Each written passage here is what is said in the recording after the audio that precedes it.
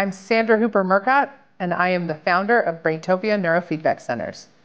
Braintopia is a company that offers neurofeedback training, which is a holistic way to help with the symptoms of many neurological issues.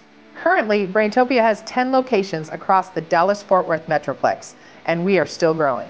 The inspiration for starting Braintopia is my son, who also came up with our name. People come to Braintopia for a couple reasons. The first reason is they want to know what is going on inside their brain. So in comes the QEEG brain map. The next thing that they're coming for is to have a solution to help with neurological issues that they may be facing. Some people come after they've tried everything else, and some people come because they want to try this first. But everyone's coming because they want relief of some kind of symptom. We work with a wide variety of clients, anywhere from age 2 to 84 and everything in between. Athletes, students, or adults that want to perform better in their day-to-day life. Welcome to the Braintopia family. We can't wait to see you soon.